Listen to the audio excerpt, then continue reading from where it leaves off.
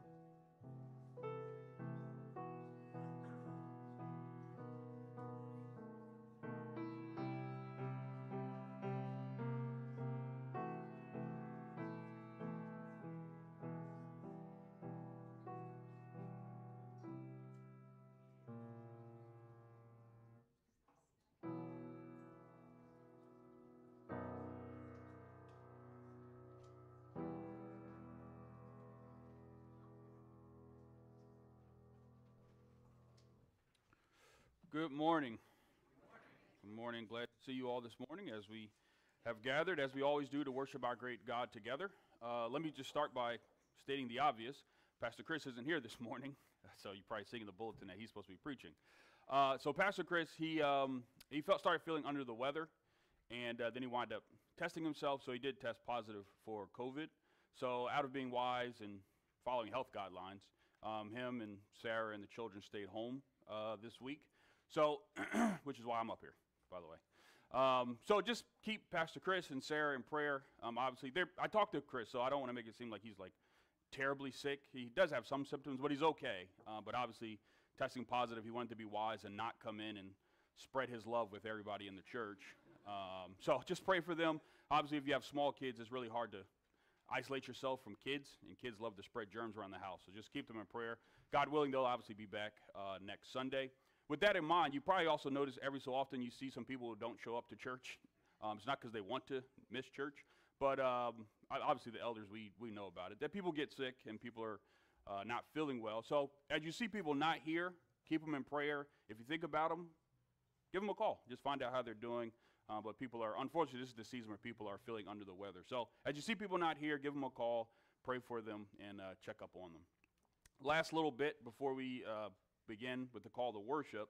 Um, I won't be preaching Chris's sermon either. So I guess technically I could read his manuscript, but I'd feel like it'd be weird for me to talk about competitive swimming.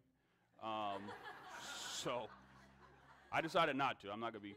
So Chris will pick up where he would be this week uh, with John 18, and so he'll be preaching that. So what we'll do this morning is our prayer of intercession is uh, Psalm 134. So Elder Morris is still going to be praying. We're not going to skip prayer, but actually what we'll do for the sermon is work our way through Psalm 134. I think it'll be helpful, but I'm biased. Um, but I think it'll be helpful for how we understand and what we are called to do uh, in worship. Uh, last bit is it'll be obvious to you, but I'll say it anyway. It's probably going to be slightly shorter of a sermon. Um, so some, some of y'all will be very happy that it's shorter, but uh, that's, that's perfectly fine. So either way, we will still worship the Lord as we always do. Uh, but as I said, keep everyone that you don't see, uh, including the Diebold's, keep them in prayer that their health would come back so we can all worship our great God together. Well, let's now stand for our call to worship. And our call to worship this morning comes from Psalm 99. The Lord reigns, let the peoples tremble. He sits enthroned upon the cherubim, let the earth quake. The Lord is great in Zion, he is exalted over all the peoples. Let them praise your great and awesome name, holy is he. The Lord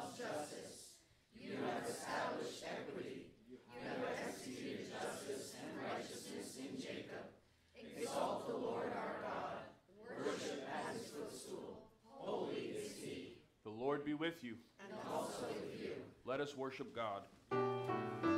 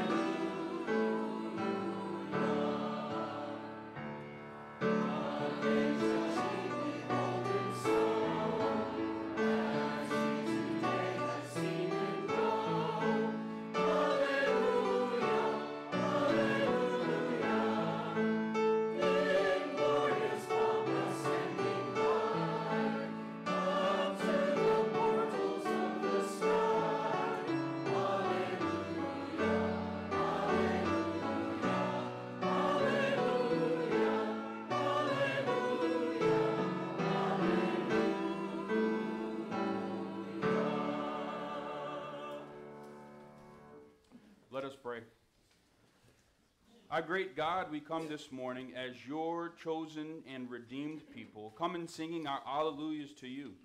We praise you for you in your resurrection have conquered death and sin itself. And Lord, we come each Sunday morning gathered to praise your holy, just, and righteous name. And now, Lord, we ask that you would be with us, that you would receive our praise, that you would hear our prayers, and give to us yourself. Be with us, we ask, Father, Son, and Holy Ghost. Amen. This morning, as we affirm our faith, we'll be looking at and using uh, Luther's small catechism. So, Christian, this morning I ask you, what do we believe?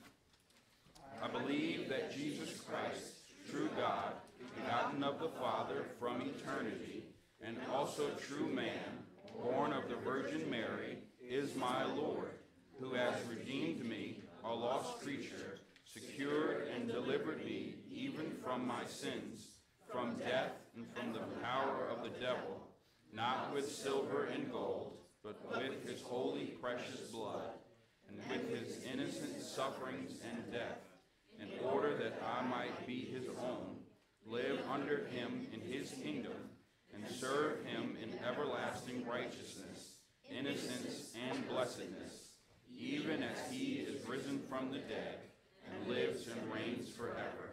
This is most certainly true. Amen. You may be seated. We now have an opportunity, knowing that our Lord hears us, to confess our sins to Him together as a church. So, church, let us now pray together our prayer of confession. Most holy and merciful Father, we acknowledge and confess before you our sinful nature, prone to evil and slothful in good, and all our shortcomings and offenses. You alone know how often we have sinned and wandering from your ways, and wasting your gifts, in forgetting your love. O Lord, have mercy upon us, who are shamed and sorry for everything in which we have displeased you. Teach us to hate our errors, cleanse us from our secret faults, and forgive our sins for the sake of your dear Son. And, O most holy and loving Father, help us to live in your light and walk in your ways, according to the commandments of Jesus Christ our Lord. Amen. Hear this word of assurance from the Lord as written by the Apostle Joel. He writes, Yet even now declares the Lord, return to me with all your heart, with fasting, with weeping, and with mourning, and rend your hearts and not your garments. Return to the Lord your God, for he is gracious and merciful, slow to anger and abounding in steadfast love and he relents over disaster. Hear that promise, church, that as we confess our sins, God is just and he forgives us through the shed blood of his Son, Jesus Christ. We are forgiven and we are his forever. Amen. Let us now stand, sing our hymn of praise, hymn 44, How Great Thou Art.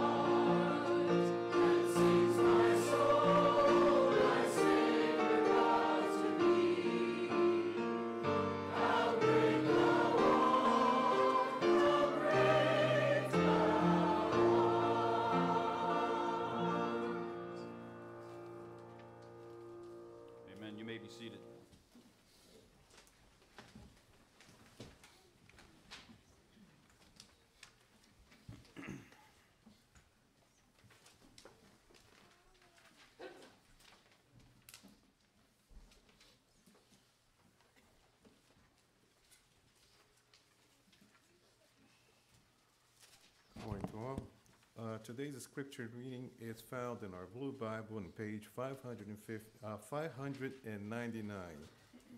Uh, For those who don't know, they are right under your seats. Uh, We're going to read Isaiah chapter 39, verses 1 through 8. Um, Merodach Baladan was accomplished Babylonian leader who was twice able to make himself the king of Babylon and defiance of the Assyrians. It is easy to understand why Hezekiah would be glad to receive the envoys. After all, he is a great world leader, paying attention to little Judah. There is something immensely flattering when someone who we consider more important than we pays attention to us. But there is also something dangerous as well. Um, namely, that we succumb to the temptation to convince the important person that the attention being, pay, uh, being given is justified. Sadly, that is the temptation that Hezekiah falls. Here is a wonderful opportunity to declare the glory of God to the nations. The illness may be, may have been only a pretext for Merodach Baladan to do some political fence building, but still is the ostensible basis for the visit. So Hezekiah could have used the visit to tell the story of what the sole God of the universe did for him. But instead of giving God its deserved glory, Hezekiah, like Moses long before, takes the opportunity to make himself look good. The detailed list of what uh, he shows the Babylonians, a summary statement, they have seen all. There is nothing I did not show them, is Isaiah's way of emphasizing how completely Hezekiah falls into a trap. Isaiah announces that what the men have seen will one day belong to the Babylonians. Not just his possessions will be carried off, but his family too. Nothing Hezekiah has will be left. By showing that Hezekiah is both mortal and fallible, Isaiah does two things. First, he shows that trust is intended to be a way of life, not a one time experience. And second, Isaiah is Isaiah showing here, showing there there is no final salvation in a human being, no matter how good he might be. Our hope is not is not on not in the perfectibility of humanity. The Messiah is much better than that. Isaiah chapter 39, verses 1 through 8. At the time, Merodach Baladan and the son of Baladan king of Babylon sent envoys with letters to, and a present to Hezekiah, for he heard that he had been sick and had recovered. And Hezekiah welcomed them gladly, and he showed them his treasure house, the silver, the gold, the spices, the precious oil, his whole armory, all that was found in the storehouses. There was nothing in his house or in all his realm that Hezekiah did not show them. Then Isaiah the prophet came to King Hezekiah and said to him, What did this man say? And from where did they come out come to you? Hezekiah said, They have come from a far country, from Babylon. He said, What have they seen in your house? Hezekiah answered, They have seen all that is in my house. There is nothing in my storehouses that I did not show them. Then Hezekiah then Isaiah said to Hezekiah, Hear the word of the Lord of hosts. Behold, the days are coming when all that is in your house and that which your fathers have stored up till this day shall be carried to Babylon. Nothing shall be left, says the Lord. And some of your own sons who will come from you, whom you will father, shall be taken away, and they shall be eunuchs in the palace of the king of Babylon. Then Hezekiah said to Isaiah, The word of the Lord that you have spoken is good. For he thought, There will be peace and security in my days. The word of the Lord.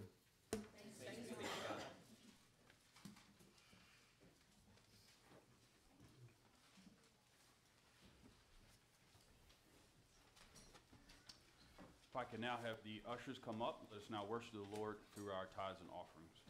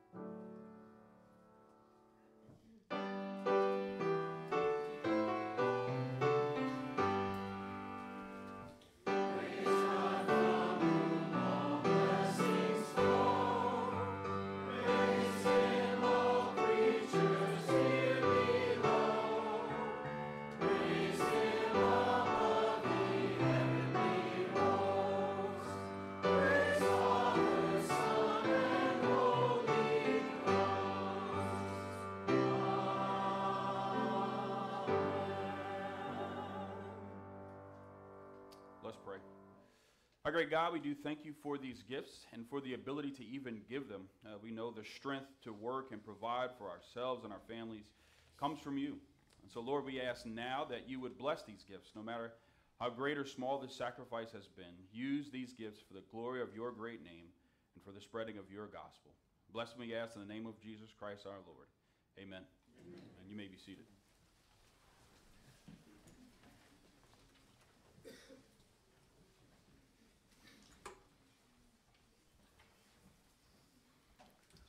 Intercessory prayer this morning, I will not be praying through Psalm 134 because Jared, as he said, will be preaching through it. So instead, I will start with a brief introduction from Psalm 113, and then we'll have our intercessory prayer. Let us pray. Praise the Lord. Praise, O servants of the Lord. Praise the name of the Lord. Blessed be the name of the Lord from this time forth and forevermore. From the rising of the sun to its setting, the name of the Lord is to be praised. Lord, we do praise your name. We acknowledge that you are the one true God, creator of the world and everything in it. You cause the rains to fall and the crops to grow. You alone are worthy of our praise and worship. We confess that we do not always live as though we honor your name and your sovereignty. We continually do things which you have commanded us not to do, and we don't do the things that we should. Forgive us for our disobedience, and give us new hearts which desire to please you. We thank you for the rain and the life and growth it brings. We thank you for the farmers and the crops they produce, that we can get nourishment from the land. We thank you for the flowers and the trees and the beauty they give to the world. We thank you that you made man and gave him dominion over all the earth.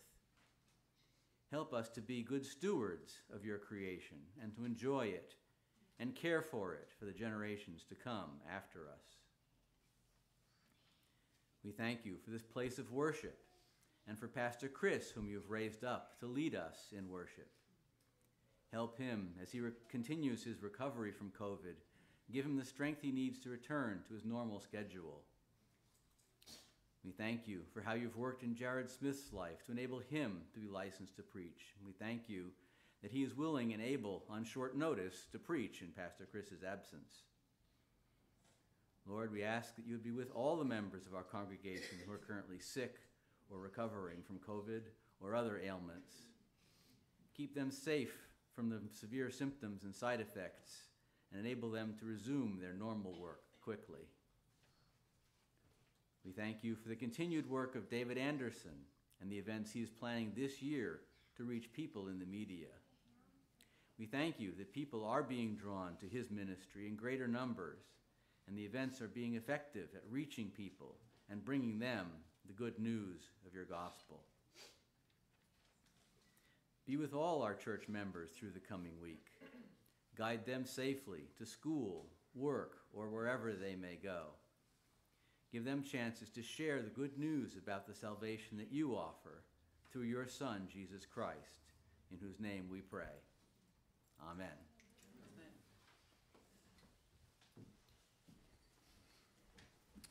Our, as we stated before, our scripture lesson for this morning will be Psalm 134. And so you can turn there. Uh, it's a fairly short, short psalm, only three verses, uh, but we'll read it and uh, work our way through. I'll give you a moment. Psalm 134.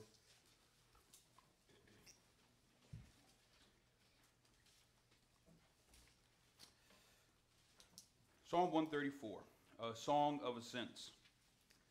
Come, bless the Lord, all you servants of the Lord, who stand by night in the house of the Lord.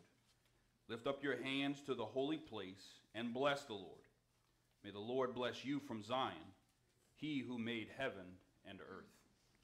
It's the word of the Lord. Let us pray together. Our great God, we do thank you this morning for your word.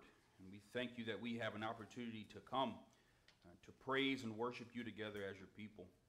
And now, Lord, we ask that uh, by your Spirit you would come be with us to empower the preaching of the word, but also the hearing. May we all have our ears opened and our hearts open to hear what you would have to say to us uh, through this psalm and through these verses. Bless our time together, Lord, and may it be honoring to you. Be with us, Father, Son, and Holy Ghost. Amen. Psalm 134, as the uh, stated in the beginning, is a song of ascents. Now, as we've been praying through the Psalm of Ascents, I think Pastor Chris had mentioned it when we first started praying through the Psalm of Ascents, what they are. But just to reiterate, the Psalm of Ascents are essentially a collection of uh, 15 psalms or songs. Uh, and these were songs that would have been uh, sung, generally speaking, sung as pilgrim songs as God's people, the Israelites, would have made their way from wherever they were scattered at the time, made their way back to Jerusalem and back to Mount Zion to the temple to worship the Lord at various uh, feasts. There were three main feasts or festivals and worship times. Uh, but they would come back, and these would be these 15 songs would be the songs that they would sing as they made their pilgrimage back to, back to Mount Zion. Now, what it does for us, because we don't we don't have special feast days, but we do have a feast day or a worship day every week. And so, what the Song of Ascents do, uh, even though there's some distance between people of Israel and us and how we worship, they do guide us in how we are called to prepare ourselves in worship, what we are called to do in the presence of God in our worship. So I think that it's actually very helpful for us to look at Psalm 134, uh, actually the ending of the Song of Ascent. So this is the last one. But I think it does help to guide us what we uh, are doing and what we are called to do uh, in worship. Now, Psalm 134, if, as you as I read it, short, but as you probably heard, there is a what I'll consider a dual blessing that is taking place in the psalm. On one hand, there is the blessing that takes place from God's people to God, and then there's the blessing from God to his people in worship. Now, just to pull together what is a blessing, and I kind of pulled together from uh, various theologians, people like Bruce Waltke and others. What is a blessing? Blessing, as I would put it, is the bestowing of an overflow of benefits for the sake of goodness, happiness, and flourishing. And with that definition of what a blessing is, generally speaking, we don't struggle with blessings flowing from the greater, excuse me, to the lesser. To hear that God blesses us as people doesn't really bother us. It's a good thing for us because we're the ones receiving the blessing, but it also makes sense. The greater is always blessing the lesser. God blesses all throughout Scripture. God blesses the, sa- the Sabbath day in creation. God blesses various creatures in creation, telling them to be fruitful and multiply. God blesses the marriage, telling them to be fruitful and multiply. Right? God blesses Abraham, saying that I'll make your descendants like the stars of the heaven and the sand of the seashore. There's a blessing. God blesses all these folks. God blesses his, the people of Israel with restoration, salvation, conquering land, and giving them the promised land. These all make sense to us. But how do we really bless God? At least I struggle with the, idea. Because blessings always go from the greater to the lesser, but how does a blessing go from the lesser to the greater? The way I kind of think about it, when we think about blessing, it's almost like if I were to give Elon Musk a gift card, right? It, it, makes no sense. There's nothing I can give him that he really needs. In an even greater way, there's nothing we can actually give God in blessing him. But there's also the turn of phrase of what it means to bless is the idea of praising God.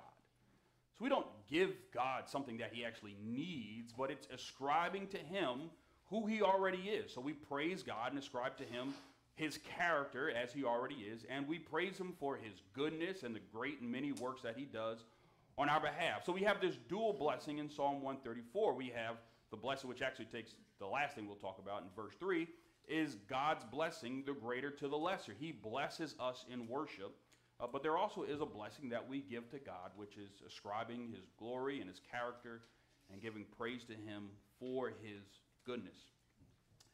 But in the psalm, uh, as we look to it, what does it actually look like for us to bless God? We talk about praising just in general, but I think there's more that actually can be said from the psalm on what it looks like for us, even as we prepare ourselves as God's people to worship Sunday after Sunday. What does it look like for us to bless God? First thing I think it looks like as we look at verse 1, the first thing that the psalmist says is, Come. Or if you have another version, or it can be translated different ways, behold or look. It's the idea that the psalmist, and this happens multiple times in all the Psalms, but it also happens multiple times in the Song of Ascents, these songs, these songs of uh, pilgrimage and worship. And whenever you see that, come or behold, it's the idea that whoever is reading this psalm or singing the song is called to be very attentive to what they are doing. And so, how do we bless God? We bless God in worship by being attentive to what we are doing. Part of this idea of being attentive, I think, also comes from who the psalmist is speaking of in these short few verses. The psalmist talks about these night watchers, or people who watch in the night. Right? Come bless the Lord, all you servants of the Lord who stand by night in the house of the Lord. And so the question is kind of is who, who are these night watchers? Right? Who are, who are these people that the psalmist is calling these watchers of the night? The reality, these are probably, or for the most part, these are Levites. Right? These are whether priests or other Levites who are not necessarily priests, but they are temple workers. And the idea, I think, that the psalmist is putting forth uh, to these uh, temple workers is they are called to be attentive in the work they are doing in the temple as temple worshipers. Now, the possibilities, being that this Psalm 134 is the final song of ascents or the final pilgrimage song, there is a possibility that this song is actually one that is sung as the uh, travelers are now leaving the temple or leaving Mount Zion, going back home. And so, to a certain degree, we can say the temple workers, the, the enjoyment and the excitement of all the people being in the temple, worshiping God as a large crowd, that is starting to die off. And here we have these folks who don't work during the day, but they are watching at night, And the psalmist is telling them what you're doing. It seems like begrudging work. You remember, the temple is just always working. Right? There's always sacrifice being made, there's always things to be done in the temple. And after a while, those things seem very, very routine. And even more, these are folks who are watching at night, so it's not even daytime. And they're still doing the, at least, begrudging, monotonous work of worship at night. And so the psalmist, it's possible, so obviously with short, short time, I couldn't make a final decision on all these things, but it is possible that it's actually the psalmist writing from the, from the position of the travelers, saying back to the temple workers, I know what you're doing may seem like it's boring, but behold, watch, be faithful, and be attentive to what you're doing. Now that applies to us. Why? Because, quite honestly, in our liturgy, we do the same thing every Sunday. We don't switch up our liturgy to, to make it funky. and if we are not attentive as worshipers of God, we'll keep doing the same monotonous work and it will mean nothing to us. And so, how do we bless God? We bless God by being attentive to the constant work of worship that we are called to do Sunday after Sunday. Uh, Calvin, in his commentary, Calvin takes a, I guess, well, I'm taking more of Calvin's view. I shouldn't say Calvin's taking my view because, one, I'm not Calvin, he came way before me. But Calvin is taking a more negative view, which is what I'm taking by looking at these temple worker, temple workers and the possibility that they are drawing tired from doing the same thing over and over again. So hear what, hear what Calvin says about these workers, and I think a lot of it applies uh, to us as worshipers as well.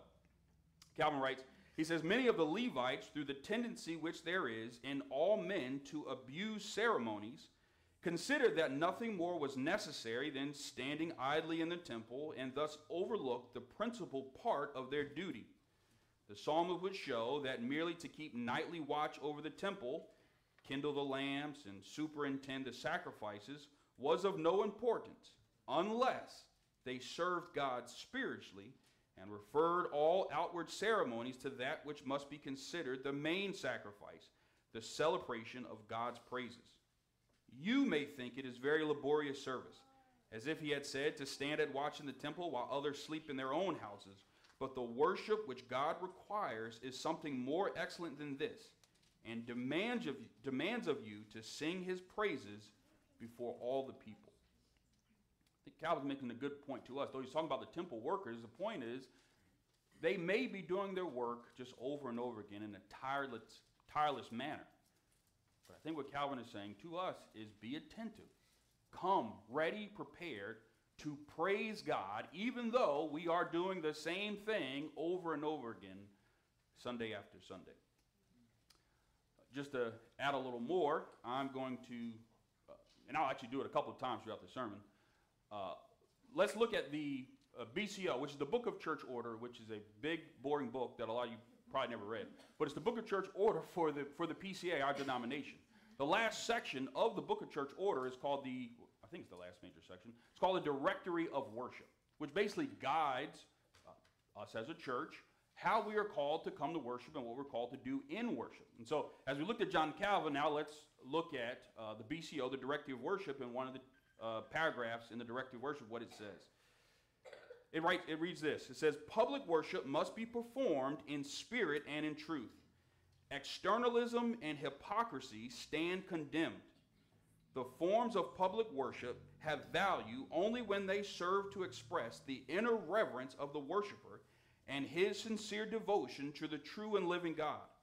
And only those whose hearts have been renewed by the Holy Spirit are capable of such reverence and devotion. I think that's a, it's a sober reminder to us as God's worshipers from the, from the directive of worship. What are we called to do? We're called to come prepared, to be attentive, and to be fully enveloped in the worship and praise of our God.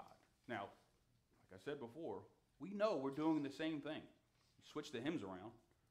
It's the same liturgy. And yet we're still called to come, to be attentive, to worship our great God together.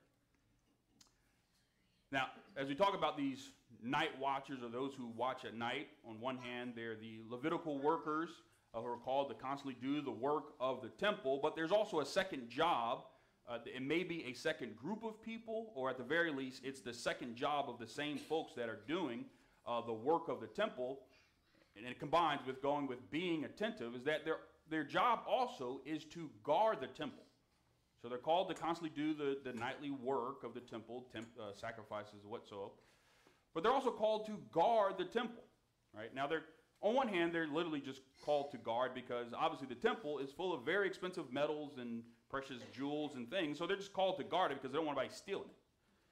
But what I think is actually more important than just people stealing very important things out of the temple, it's to guard to make sure nothing unclean and unholy gets into the temple and desecrates the holiness and the cleanness of the temple. Now, this may be more for uh, the folks who serve on the session here. That there is a huge responsibility for us. I mean, everybody should listen to this book. To guard, in a certain degree, the holiness of both the life and the doctrine and the worship in, their, in our church. And that's heavy and hard work to do. To guard what comes in and how we worship our God together. And I'll say, now this is your responsibility as the rest of the church. You should be holding us accountable if we're not doing that. If we are being lax in our job, not guarding the life and doctrine of the church, and guarding the holy things or the worship of God in church, you should be calling us out. Now, don't be rude. Take us to the side. But that is our responsibility. The second job of these temple workers not only were to continue to do the work, but it was also called to guard the holiness and the holy worship of God. And to a certain degree, that is a, a good portion of the work of those who serve on this session as elders, to guard the church and guard the holy worship uh, of our God. We're called to be shepherds. Shepherds, part of the shepherd's job was to fight off wolves. And it's interesting, whenever Paul and other places in the New Testament, they talk about wolves, usually they're talking about people who come with false doctrine and false teaching. Those are the wolves. And so our job as a session is to guard, as the temple workers were also called, called to guard. Now, how do we guard, though? This is for all of us, though. How do we guard the holy worship of our holy God we don't do it with swords or anything like that, though there may be a card carrying member somewhere here, and that's perfectly fine. Uh, gun card carry, that's what I meant by carrying. Uh, but how do we guard the holy worship of our holy God? By the Word of God.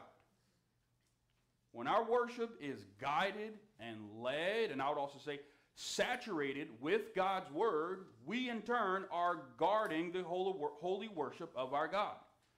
And so that's why you're going to hear over and over again we will sing God's word, we will read God's word, we will pray God's word, and we will preach God's word. And we'll do it all as faithfully as we possibly can. Yes, we're all sinners. But if our worship is to be good and right holy and faithful to our Lord, the way we guard it is by making sure that all that we do in worship is led and saturated with the Word of God. Final point I just want to make about saturating our worship and our liturgy with Scripture is that make sure that we understand that a saturated, a biblically saturated liturgy is automatically evangelistic we could be tempted, right? Or maybe I'm tempted. If we don't see a lot of unbelievers come in and we go, well, we got to do something cool and fun and hip to gather people in so that unbelievers would come and go, man, this church is like the coolest church I've ever been to. No. The, the biblically saturated liturgy and worship of the church is automatically evangelistic.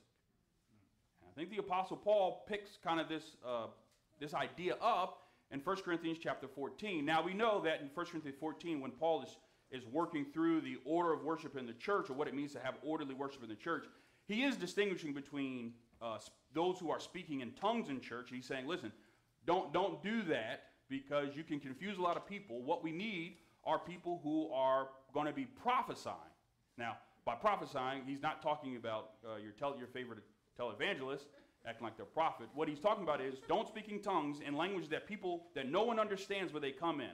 But rather, if we have people that are faithful, faithfully proclaiming God's word throughout the liturgy, when people come in who are outsiders, I'm going to read the text in a second, who are outsiders, they will be constantly hearing the word of God, and that is evangelistic in itself. So Paul says, But if all prophesy, and an unbeliever or an outsider enters, he is convicted by all, he is called to account by all, the secrets of his heart are disclosed, and so, falling on his face, he will worship God and declare that God is really among you. As I said before, we are called to guard the holy worship of our God. In order to guard it, it has to be saturated with Scripture. And I think what Paul is basically saying is when that happens, we don't need to do anything fancy in worship, but the biblically saturated worship of God is automatically evangelistic. So, going back, what are we called to do? To be attentive, to bless God, we are called to be attentive. We're called to be attentive in preparing ourselves for worship. We're called to be attentive to the liturgy in the sense of making sure that it's biblically saturated by guarding uh, the holy worship of our God. I'll make one last comment and then we'll move on. That the other thing that I think in this day and age that we need to guard is not only the worship itself, the liturgy, make sure it's biblically saturated. Certainly, we need, we need to guard the actual day of worship in itself, which would be Sunday, today. And what I mean by that is we need to guard the fact that we are called to hold the Sabbath in high regard. Now, what is today? Somebody in the head said, Super Bowl Sunday. Wrong, right? Today is Sunday in which the Super Bowl will be played. Now, now it's, it's a joke what I'm saying, and I'm kind of just using a, a phrase, turn of phrase, but there's actually a point of what I'm saying.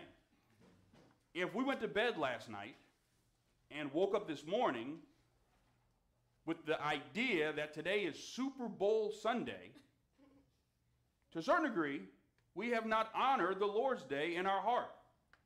Now, I'm not going to bind anybody's conscience about watching the Super Bowl. To be quite honest, I'm probably going to catch a little bit of it and I'm going to fall asleep like I do any other time. but my point is, we guard the Lord's Day. How did we prepare for it? Right? If we came in today and you're hoping that my sermon is short, so you can get home and throw wings in to be prepared for Super Bowl Sunday, you are not honoring the Lord's Day. Like I said, I'm not going to bind anybody's conscience about watching football. I, I struggle with it myself, so I'm not going to lie. But I'm also not going to bind anybody because I'm not fully convicted yet, and maybe I need to be. But either way, are we honoring this, at the very least, the spirit of the Sabbath if our whole day on Saturday preparing for Sunday and our thoughts about today is to watch a game? Today is the Lord's Day. We have to remember, and I was honestly, as I was thinking through this, I was reminded think it was last year, uh, Mr. Jim Tyne taught, taught about the Sabbath day. And it's the idea that it, this is not begrudging. We are given the Sabbath day. That's one thing he was trying to press home, which I appreciated. We are given the Lord. This is a good day for us. And we honor it and guard it to a certain degree by preparing ourselves in the right way, knowing what is important for this day. Now, if you don't like what I said, let me just read the shorter catechism. Question 60 says this How is the Sabbath to be sanctified? Answer The Sabbath is to be sanctified by our holy resting all that day, even from such worldly employments and recreations as are lawful on all other days, and spending the whole time in the public and private exercises of God's worship, except so much as to be taken up in the works of necessity and mercy. God calls us to worship rightly. God calls us to be attentive. And lastly, God calls us, I think, to guard even what we're called to do now guard the holy day, guard the Sabbath in our hearts as holy and setting apart for the worship of our God. So, how do we bless the Lord? We bless the Lord by being attentive, we bless it by guarding.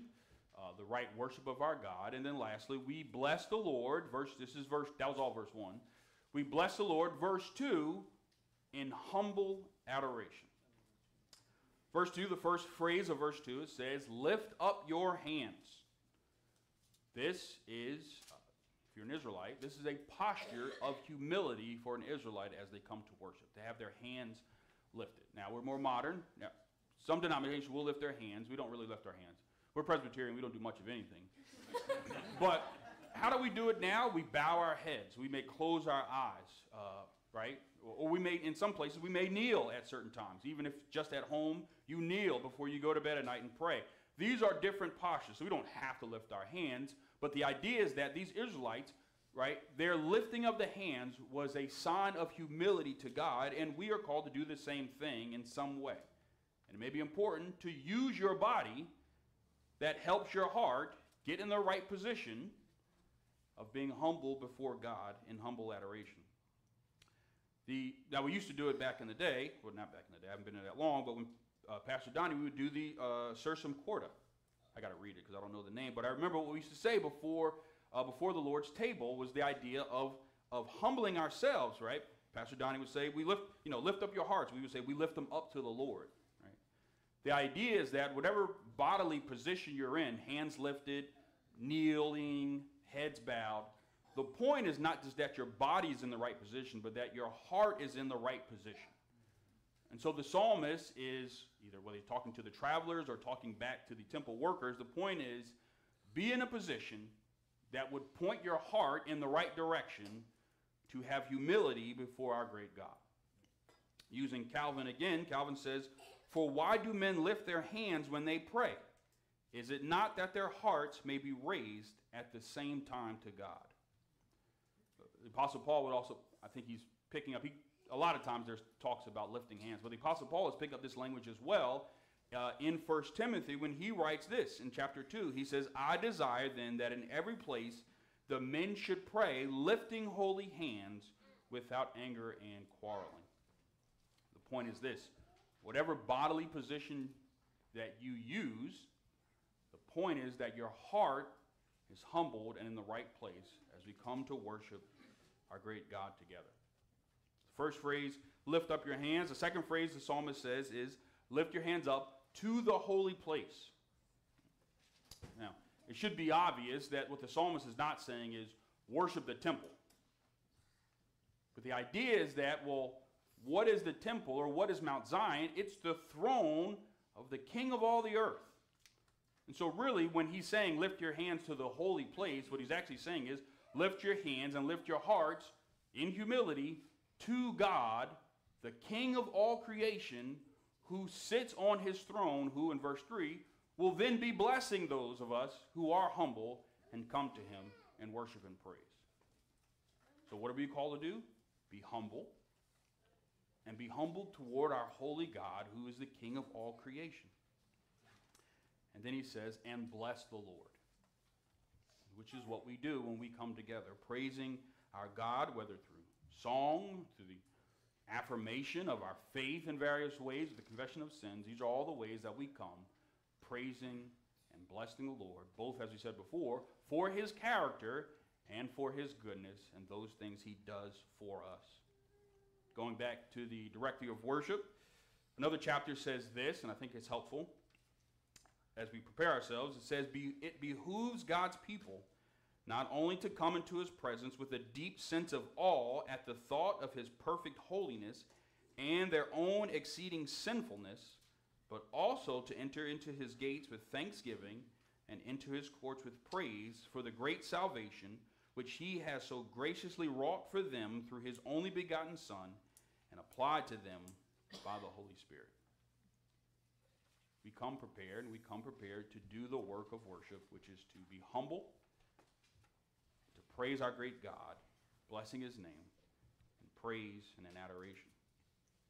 As you think about liturgically, how do we do that? As I kind of finish out this part before we get to what God does for us and blessing us. So, what does it mean, or what does it look like in our liturgy? Right? How do we bless God? Together we sing praises to him. We bless him we, in humility, confess our sins to Him. In humility. We offer up our prayers knowing that He hears us. Raising holy hands, bowing our heads, and whatever bodily posture we use, we, by blessing God, give our prayers to Him. And, I would say lastly, we sit under His word. We humble ourselves We don't come, right, to do our own thing. We don't come to, especially if you're, if you're the one preaching that morning, you don't come giving your own opinion. But we all sit under God's word in humility, prepared as God's people to honor Him and bless Him through our humility and through our praise of our great God. So, we bless the Lord. We bless the Lord through our attentiveness. We bless the Lord through our humble adoration. But that's not the end of the psalm. There is also the great news that God blesses us when we come and worship, and even as we look at Psalm 134 and how the Lord blesses uh, the people. Now, there are two options, and I'll just give them to you as we look at verse 3, what is actually happening in verse 3. So, option one is that in verse 3, the psalmist is writing as a pilgrim, right? He's writing on, or shall I say, on behalf of the pilgrims who's basically looking back at the temple, the temple workers, and they're bestowing God's blessing on the priests and the Levites and the temple workers in their continual work. That's one possible option. Or the second option is that it's going the other way. That verse 3 are the priests giving their benediction towards the travelers, blessing them as they head home. Now, pick whatever option you want, as I said, with lack of timing. You just throw both options out and you have the option to pick which one. But to me, it doesn't really matter because either way, whether it's the priest blessing the people as they leave or the people as they leave blessing the priests for the work that they do, either way, each person is calling down God's blessings to a group of people. So either way, it's God blessing the people. And so what that means for us is as we come to worship, we come blessing the Lord, but we also come expecting a blessing from God in our time to worship. And that's okay to do. It's perfectly fine and it's right and good and just for us as God's people to come to bless Him, but to also expect and know that we are receiving a great blessing from our God. The writer then, the psalmist says that, may God bless you, and I'll say these two things. One, he says, may God bless you from Zion. Right? As he said before, what is Zion or what is the Temple Mount? It's the throne of God, in a sense, a representative of the throne of God on earth. So, to a certain degree, what the psalmist is saying, it's not talking about the, the temple itself, like may the temple bless you, but may God, who sits enthroned, right, to a certain degree, on, in the temple, may he bless you as the king does. What does it mean? If God is the king, that one, that means he's the one who conquers but the one who's also able to actually bless all those who come to him in humble worship. As the ending of the verse would say, and we know this, why? Because the one who sits enthroned, right, the God who sits enthroned on Mount Zion, is the one who created heaven and earth. So he's capable, he's able, and he is willing to bless his people who come in humble worship to him for he's the king, and he, won. he created all that there is to bless you, and two, he owns it all. So there's nothing that is outside of his reach to give to his people to bless them as they come in humble worship to him. Now, just in case you think that that means only physical things, right? God's going to, the kind of church I came from, sorry. Well, God's going to bless me with some new car or something like that. It's not, no right? Even talks, in the New Testament talks about what? That God has all we need for what? Not for a new car, but for life and godliness. We come humble adoration, and we know that what we're going to receive from God Sunday after Sunday is His great blessing. The work of the Spirit in our life, right? For what? That we may live a godly life. For life and godliness to honor Him in all that we do. God is able, He's willing, and He has all that He needs to bless His people as we come in humble worship to Him. Just to close it out, so what does it look like, right? We talked about what it means in our liturgy for us to bless God. Right? So when we come, we should probably think, okay, when we're going to worship, this is what it looks like. We're blessing God in these various ways as God's people, singing praises to Him, hearing His word, so forth and so on. But in the reverse, and probably even a greater way, when we look through the liturgy, when we come and worship together, you read it in a way where we say this is God blessing us in our worship. All right, so think of it this way God, one, calls us. All right, so when we read the call to worship, it's not just a scripture that's been picked and thrown out to start the service. No, this is God calling us to worship. God receives our praises. God pardons our sins. God receives our praise and our prayers. God is the one who gives us his word. In the Lord's table, it is God who feeds us himself. And with the benediction, it is God who sends us out with his presence and his blessing. If you read it that way, one, the worship service is a lot more, more exciting. But it also helps us to come to be a lot more expectant to what's going to be taking place within the hour and 15 minutes or so when we are here gathered every Sunday morning. We come to bless God, but even more, God is here to bless us as his people in these various ways. Let me, uh, let me finish with uh, the, once again, the directive of worship, because I think these two paragraphs, and my apologies for the length, but I think they're good, and honestly, they're probably better than anything I would say to close out the sermon anyhow. But here with the directory of worship, once again from the BCO, hear what it says as it talks about as we close out what it means for us to worship God and what God gives to us. Uh, two, two, uh, two of the paragraphs. A service of public worship is not merely a gathering of God's children with each other, but before all else, a meeting of the triune God with his chosen people. God is present in public worship, not only by virtue of the divine omnipresence, but much more intimately as the faithful covenant Savior. For the Lord Jesus said, Where two or three are gathered in my name, there I am in the midst of them. And secondly, the end of public worship is the glory of God.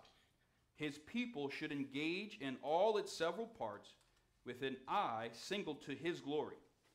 Public worship has as its aim the building of Christ's church by the perfecting of the saints and the addition to its membership of such as are being saved, all to the glory of God. Through public worship on the Lord's Day, Christians should learn to serve God all the days of the week in their every activity, remembering whether they eat or drink or whatever they do, to do all to the glory of God. And with that, I would just say, Amen.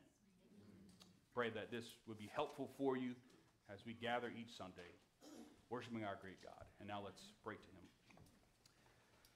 Our Lord, we do thank you once again for your word, and we thank you uh, for this psalm that helps to guide and lead us as we come and worship.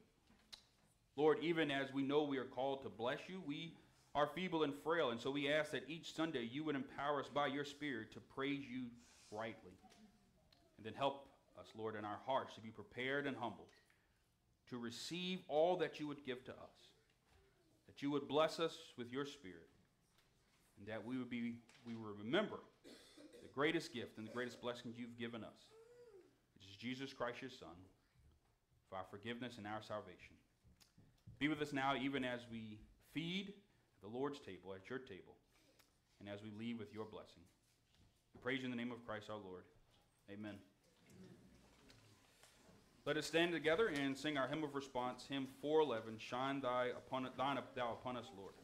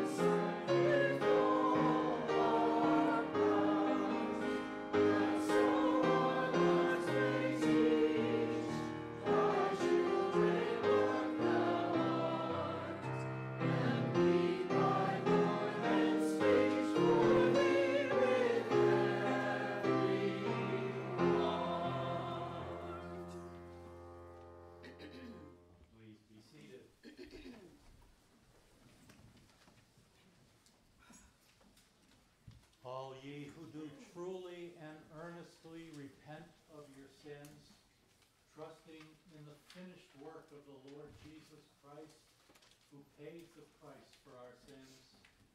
All ye who are in love and charity with your neighbors, and intend to lead a new life, following the commandments of God, walking from henceforth in his holy ways, draw near with faith to take this holy sacrament to your comfort.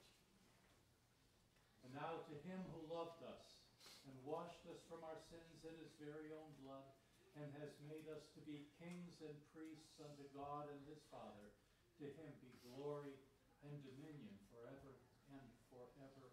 Amen.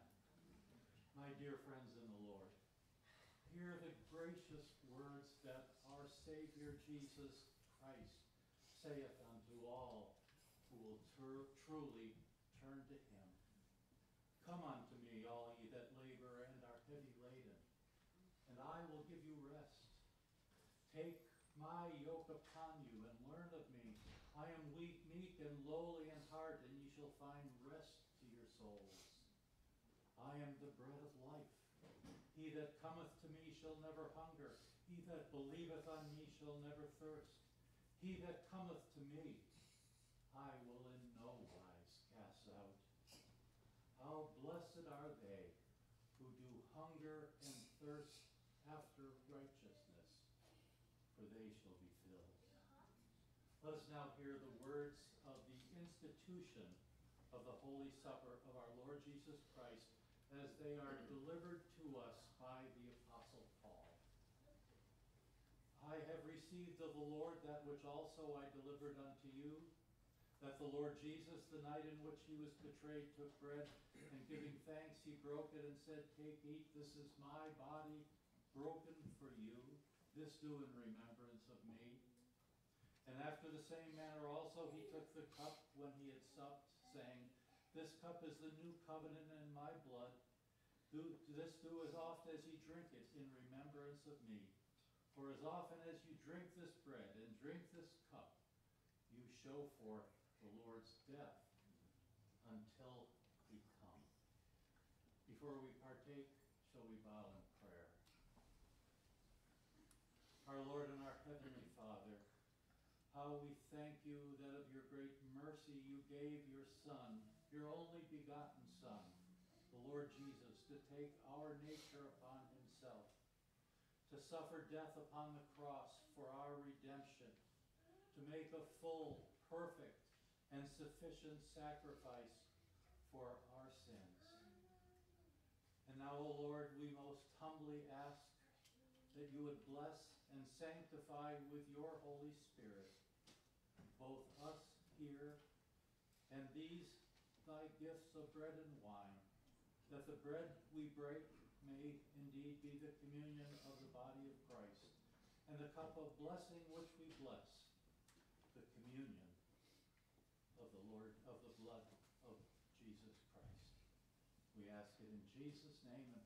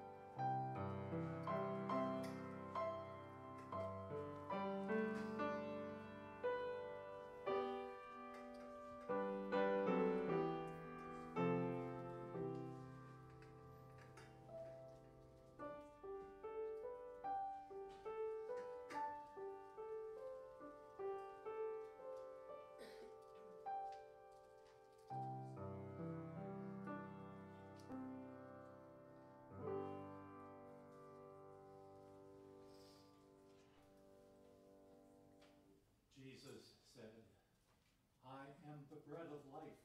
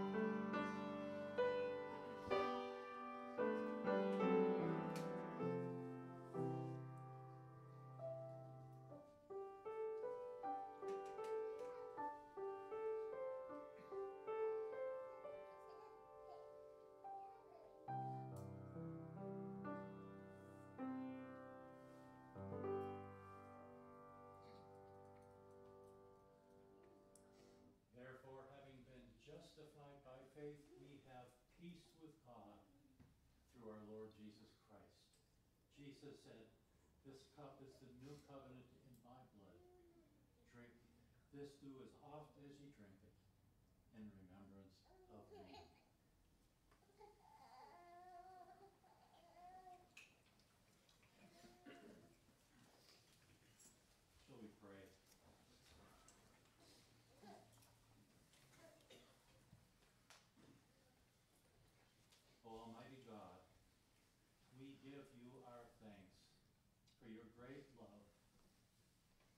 you have fed us at this table with spiritual food, assuring us of your goodness toward us, assuring us that we are members of the mystical body of your Son, the blessed company of all the faithful people who have gone before us, heirs of thine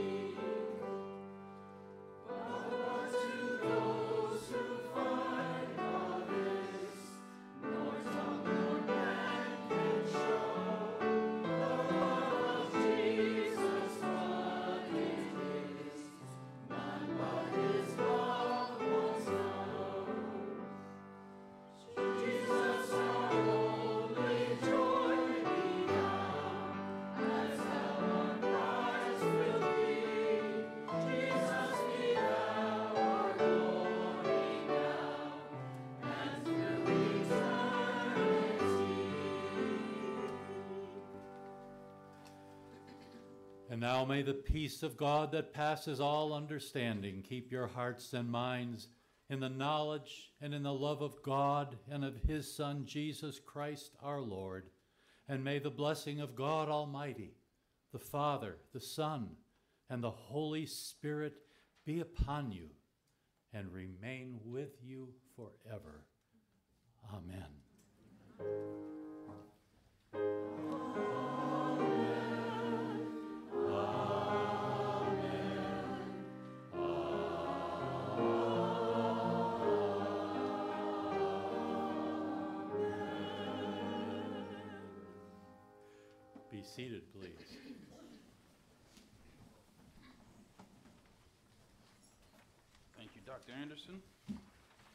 make a uh, few quick announcements, and uh, then you'll be dismissed after that. Uh, First announcement is actually not on the back, um, but uh, we'll be pulling together a choir for Easter Sunday.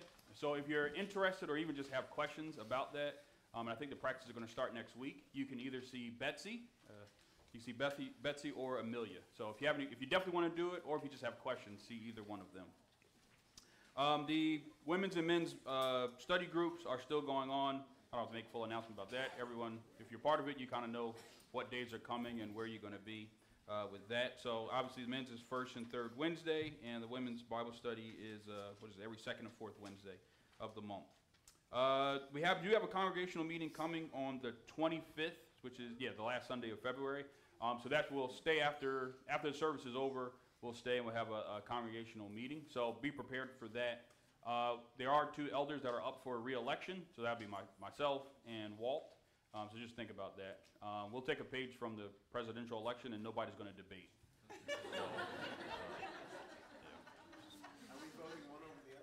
No, yeah, you can vote for both of us if you want. I mean, if you want to pick that, I mean, I'd, I'd pick Walt, to be honest. All right, uh, you heard Pastor Chris talk a couple times about a new members class that's coming up. So um, I don't think he doesn't have anything of exact. Oh, it looks like no, March second and third. I'm sorry. So he does have dates uh, planned out. So the March second is Saturday, and then March third. So there should be a sign up in the back. Um, so if you definitely want to do it and kind of know more about the church and what it means to be a member, you can sign up. Uh, also, you can speak to Chris once you see him. Um, the last announcement will be about the men's chili cook-off. So Wade will talk about that. The, the, the great competition of the year is upon us. Not the Super Bowl, the uh, men's chili cook-off. You need folks to sign up to compete, and so we can have some chili to eat. So please consider that. Sign up in the back, whether you're cooking or you're coming, so we can have uh, a count for how much food we eat. So look forward to seeing you Friday night, seven P M. here at the church. All right, and that's all of our announcements. You guys are dismissed.